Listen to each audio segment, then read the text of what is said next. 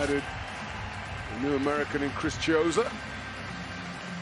Still a part of the Baskonia family.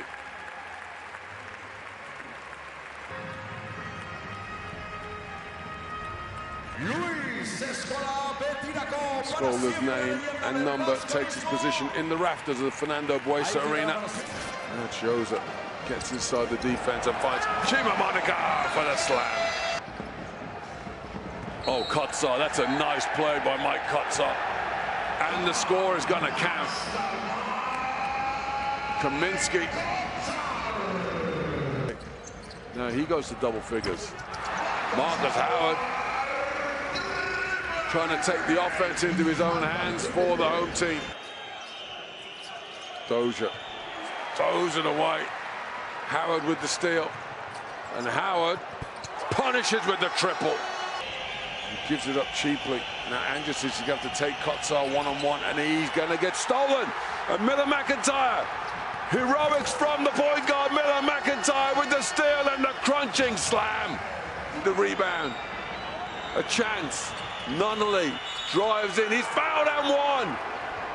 Oh, my word. This game just has got you spinning around. The game. If Moneke gets another steal, another rebound. Here comes Howard, double team. They're not going to let him be the decider. Marinkovic, Miller McIntyre, can he make a jump shot? No. There's Moneke, and he's fouled. Chima Moneke. Moneke has two free throws that can win the game.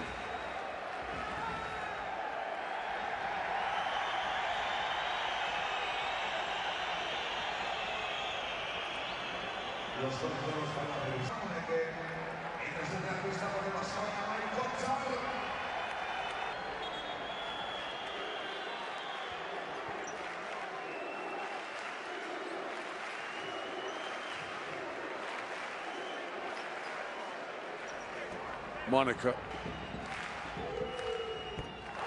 No problem with the first.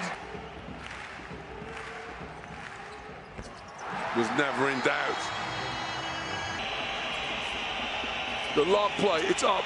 Kaminsky cannot catch it. It's tapped and it's gone to Baskonia. And it's that man, Moneke, again, who breaks the play up. The ball's up, it's in the air, it's over. Foul is called on LeDay. Knew the first was going to miss.